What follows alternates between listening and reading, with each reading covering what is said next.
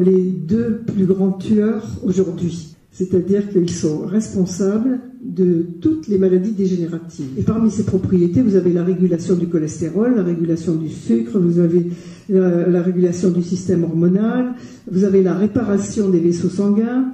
Euh, euh, ces graisses empêchent la formation des caillots, donc il ne peut pas y avoir d'embolie. Vous avez tout le nettoyage interne de l'organisme, vous avez l'alimentation des os et des muscles en permanence, c'est-à-dire qu'on ne doit pas avoir ni perte osseuse, ni perte musculaire, soi-disant avec l'âge.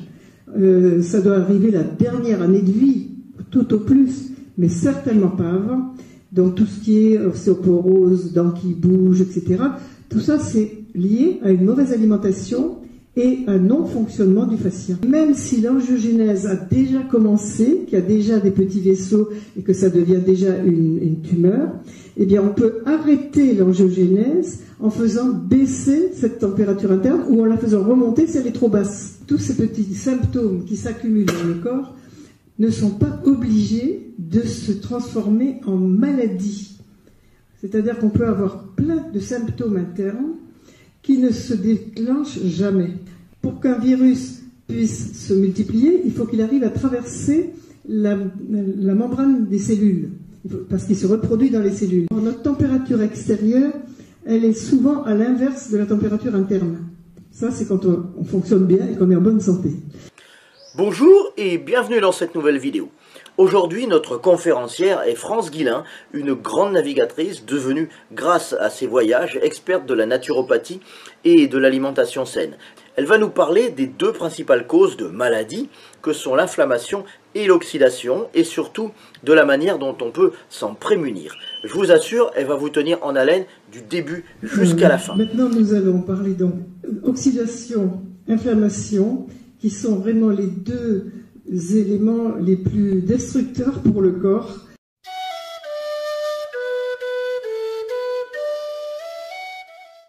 Euh, vous, en entendrez parler de plus en plus.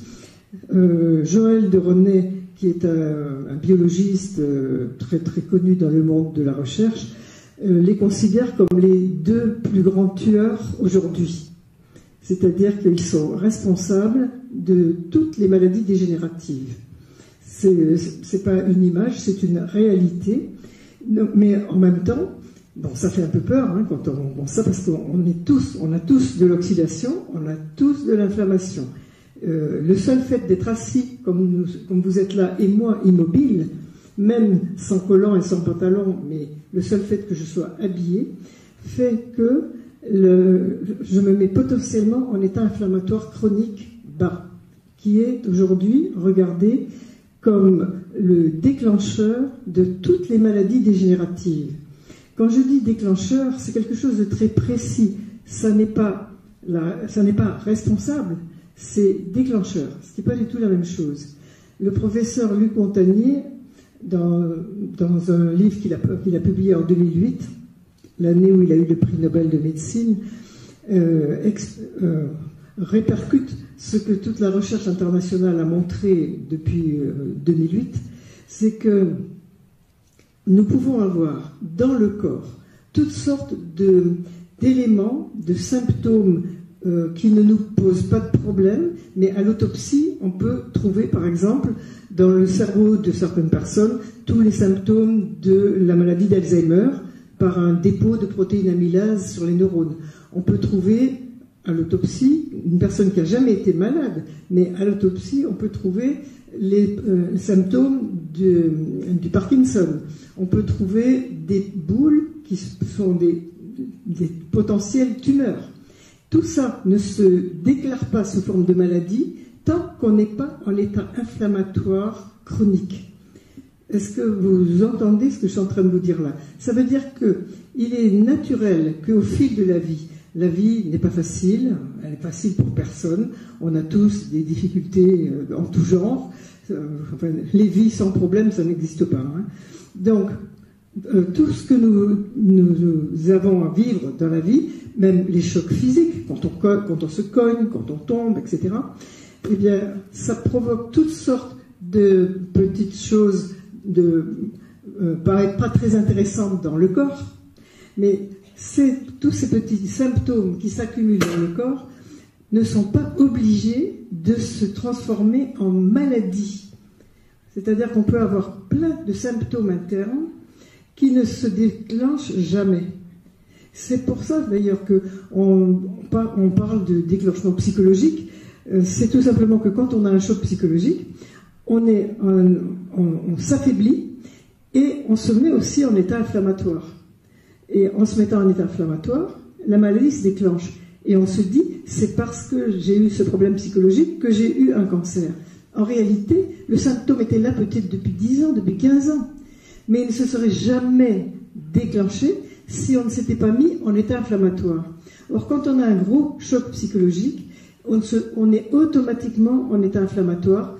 Et il y a un moyen extrêmement simple, c'est de mettre du froid dans l'entrejambe, soit des poches froides, soit des, poches froides, soit une bouteille congelée bien enveloppée.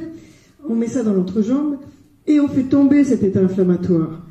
Quand un animal a un problème quelconque, que ce soit physique ou psychologique, parce que les animaux ont aussi des problèmes psychologiques. moi j'ai un petit chat, je peux vous dire que là je pars, je pars deux jours. Quand je vais rentrer, il ne sera pas content. Euh, parce que, parce que je l'aurai abandonné pendant deux jours. Et il va se mettre lui-même en état inflammatoire. Et qu'est-ce qu'il va faire? Il va se rafraîchir l'entrejambe. Il va lécher l'entrejambe. La salive, en s'évaporant, va donner de la fraîcheur. Et ça va faire baisser sa température interne ou remonter si elle est trop basse. Parce qu'il faut savoir que l'état inflammatoire, c'est soit la température interne qui est trop haute ou trop basse. Médicalement, on parle d'inflammation en général quand la température monte c'est à l'occasion d'une blessure, d'une maladie, etc. La température monte pour éviter que les microbes se multiplient dans le sang. Alors, elle peut, cette température peut monter trop haut et nous, tuer. Hein. C'est le cas de la malaria, par exemple. Mais si on arrive à contrôler la température de manière qu'elle ne nous tue pas, ce qu'on fait par exemple avec belladonna en, en homéopathie, eh bien, à ce moment-là, on empêche les microbes de se développer parce qu'ils se multiplient dans le sang et ils ne peuvent pas se développer, ils ne peuvent pas se multiplier, ils ne peuvent pas se reproduire si la température est trop élevée. Bon, c'est une défense. Donc, la médecine regarde l'état inflammatoire comme quelque chose de positif depuis très longtemps, qui est un moyen de défense de l'organisme. Ce qu'on est en train de découvrir depuis quelques années, c'est que il existe un état inflammatoire qui est soit en température trop élevée, soit en température trop basse. Parce que quand un microbe, je viens de vous le dire, euh, rentre dans le corps, la température monte pour pas qu'il se développe dans le sang. Par contre, pour les virus, c'est l'inverse. Pour qu'un virus puisse se multiplier, il faut qu'il arrive à traverser la, la membrane des cellules, parce qu'il se reproduit dans les cellules. Et à ce moment-là, pour pouvoir bloquer cet accès à la membrane cellulaire, eh le corps fait baisser sa température et ça contracte, euh, vu que les membranes cellulaires sont faites à 60% d'huile, eh cette huile, on pourrait dire, j'exagère, mais on pourrait dire qu'elle se fige un petit peu et va empêcher les virus de pénétrer dans la cellule et de se multiplier. Donc cet état inflammatoire, il peut être soit une température trop élevée, soit une température trop basse. Donc quelle est la température normale?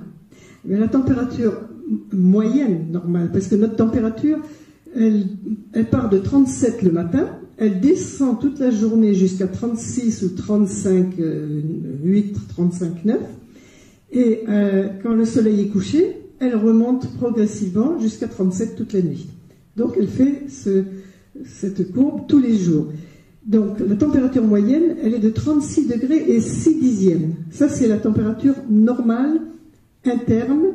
C'est la température qu'on prend par le rectum, comme on le faisait autrefois, en mettant un thermomètre qui ne sonne pas, parce que les thermomètres qui sonnent sonnent au bout d'une minute.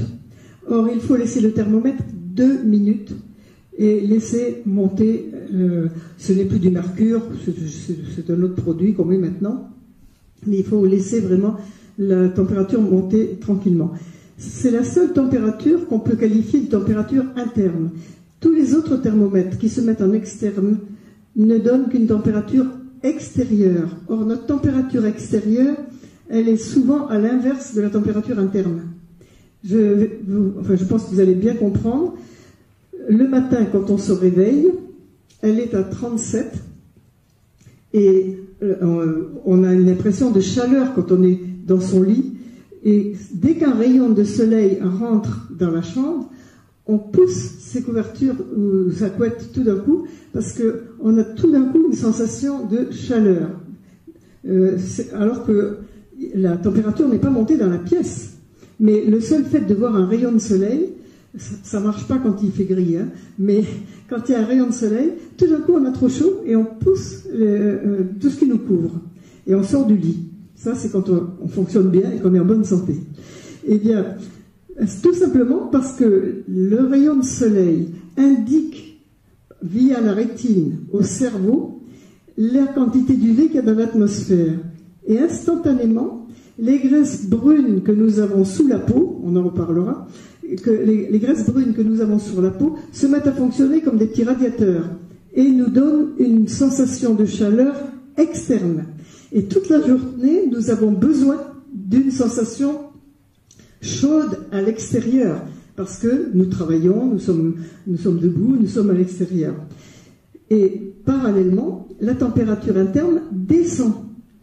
Toute la journée, elle doit descendre. Plus on travaille fort avec son corps, plus on doit avoir une sensation de chaleur à l'extérieur, mais en même temps, pour rééquilibrer le corps, la température interne descend. La nuit, c'est l'inverse.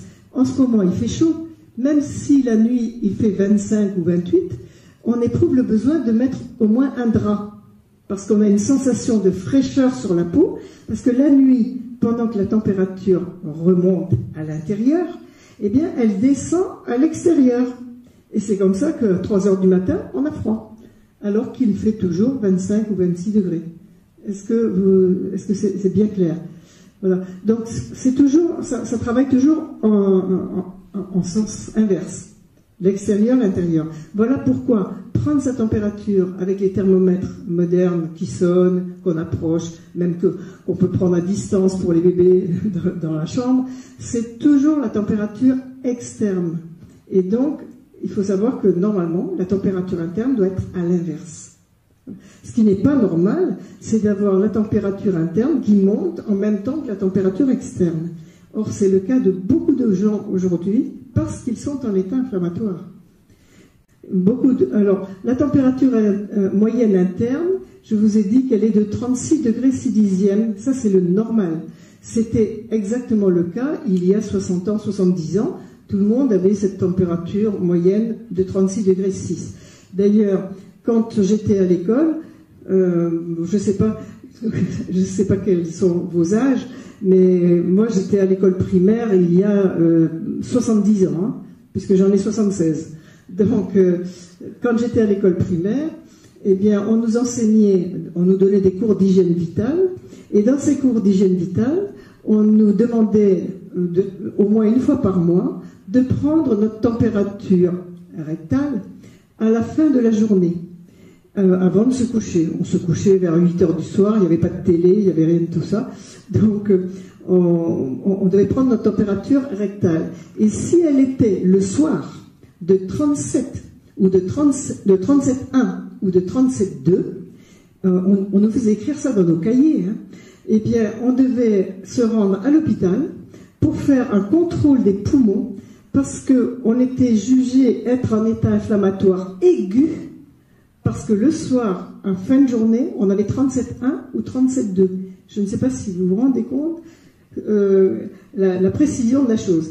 Et deux de mes camarades de classe ont été détectés en primo-infection des poumons grâce à 37,1, 37,2, trois soirs d'affilée. Voilà. Parce que le soir, on ne devait pas avoir plus que 36 on pouvait être légèrement en dessous, mais on ne devait pas dépasser 36. Or, aujourd'hui, ce qui inquiète beaucoup la recherche internationale, c'est que tous les gens occidentalisés ont comme température moyenne 37,2. Je ne sais pas si vous vous rendez compte, c'est-à-dire 6 dixièmes au-dessus de la norme. Énormément de gens, le soir, ont 37,5, par exemple, et ça ne les inquiète pas du tout.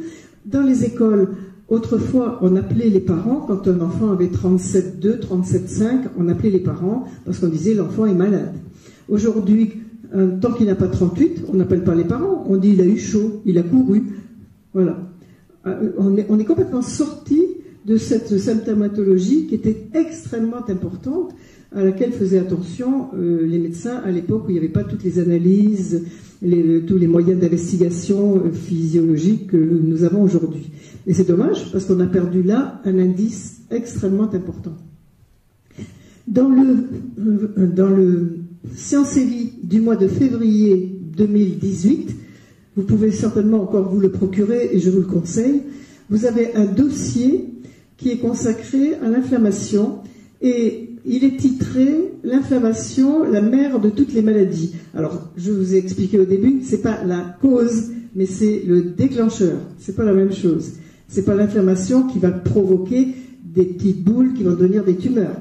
C'est un choc physiologique, vous vous cognez contre quelque chose, ou un choc psychologique qui va crisper un système qu'on appelle le fascia et qui va faire des bulles qui vont être des bulles de graisse pendant un certain temps, puis au bout de quelques années, ça va de se compacter, le corps va lui envoyer des petits vaisseaux, ça va s'appeler l'angiogénèse, et ça va faire des tumeurs, d'abord bénignes et ensuite malignes. Voilà.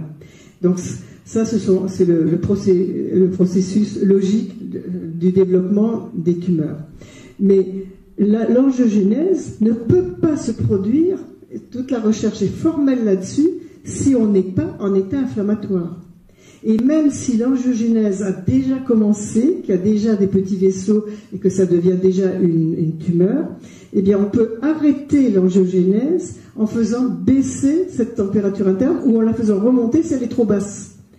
Vous voyez euh, dans, dans les deux cas, quand la température, qu'elle soit trop élevée ou trop basse, dans les deux cas, il faut mettre du froid dans l'entrejambe. Alors, ça peut paraître bizarre parce que pour la faire baisser, tout le monde comprend, mais pour la faire remonter, ça, ça, paraît plus complexe. En réalité, c'est parce que ça active, ça, fait vibrer un système qui pèse 20 kg qui s'appelle le fascia. C'est un ensemble de membranes qui entourent les muscles, les organes, les os, qui passent sous la peau absolument partout.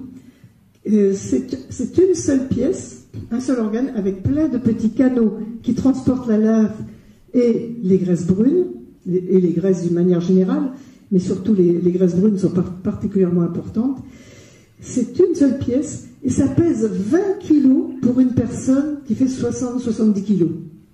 Eh bien, dans cette émission, vous voyez un médecin qui explique que jusqu'à il y a peu de temps, quand on faisait faire euh, un, travail, quand on autopsiait, on travaillait sur le corps, vous savez, les corps donnés à la science en fac de médecine, on commençait par jeter tous ces fascias parce qu'on regardait ça comme des enveloppes, mais qui n'avaient aucun rôle.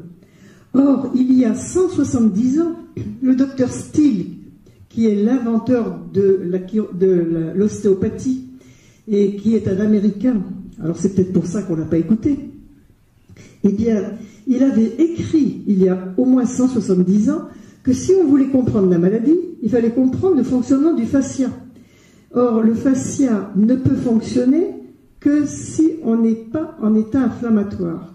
Quand on est en état inflammatoire, température trop basse ou trop haute, le fascia ne vibre plus. Et je peux vous dire que moi, ça, fait, ça fait 30 ans que je parle du fascia. Ça fait 25 ans que j'explique qu'il doit vibrer. Et j'ai eu beaucoup, beaucoup de regards condescendants de gens qui sont supposés très bien connaître le corps et qui me disaient mais ça ne vibre pas quand on ouvre un corps humain, il n'y a rien qui vibre, voilà. En réalité, ça vibre chez les bébés, chez les enfants et chez tous les gens en bon état de fonctionnement. Et dans le film, ils ont bien montré qu'un fascia d'une personne en bonne santé vibre en permanence et que cette vibration euh, est très très importante et que dès qu'on est en état inflammatoire, justement, il se bloque. Vous voyez?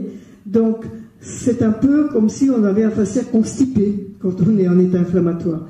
Or, ce fascia allié aux graisses brunes qui viennent de notre alimentation, je en reparlerai tout à l'heure, et, accomplit au minimum 18 fonctions connues aujourd'hui. Dans le livre que j'avais publié en 2008, qui s'appelait déjà La méthode, on ne connaissait encore que 8 fonctions. Aujourd'hui, on en a 18. C'est le professeur Ivan Rosen euh, à Harvard qui a travaillé pendant 6 ans sur les graisses brunes et qui a sorti toutes les propriétés qu'on ne connaissait pas. Et parmi ces propriétés, vous avez la régulation du cholestérol, la régulation du sucre, vous avez la, régulation du système hormonal, vous avez la réparation des vaisseaux sanguins. Euh, euh, ces graisses empêchent la formation des caillots, donc il ne peut pas y avoir d'embolie. Vous avez tout le nettoyage interne de l'organisme. Vous avez l'alimentation des os et des muscles en permanence, c'est-à-dire qu'on ne doit pas avoir ni perte osseuse, ni perte musculaire, soi-disant avec l'âge. Euh, ça doit arriver la dernière année de vie, tout au plus, mais certainement pas avant. Donc tout ce qui est ostéoporose, dents qui bougent, etc. Tout ça, c'est lié à une mauvaise alimentation et un non-fonctionnement du fascia, tout simplement. Et à cause de l'état inflammatoire précisément. N'oubliez pas qu'en ce moment, vous pouvez vous abonner gratuitement à ma lettre privée de santé naturelle. Chaque jour, vous recevez un email confidentiel bourré de conseils et d'astuces dans lequel je partage mes années de connaissances et d'expérience. C'est le complément indispensable des vidéos que je publie sur YouTube. Euh, c'est bien sûr sans engagement et vous pouvez vous désinscrire à tout moment. Alors pour nous rejoindre et vous abonner, c'est très simple, il suffit de cliquer sur le lien dans la description de la vidéo, juste en dessous, et je vous enverrai dès demain votre première lettre privée de santé naturelle. Donc vous voyez que cet état inflammatoire a un, rôle très important. Et qu'est-ce qui va favoriser cet état inflammatoire? Eh bien, c'est d'abord euh, originellement, le fait d'être euh, immobile, habillé, euh, parce qu'un être humain, à l'origine, marche toute la journée, il vit sous les tropiques, il est tout nu, il n'a pas de vêtements.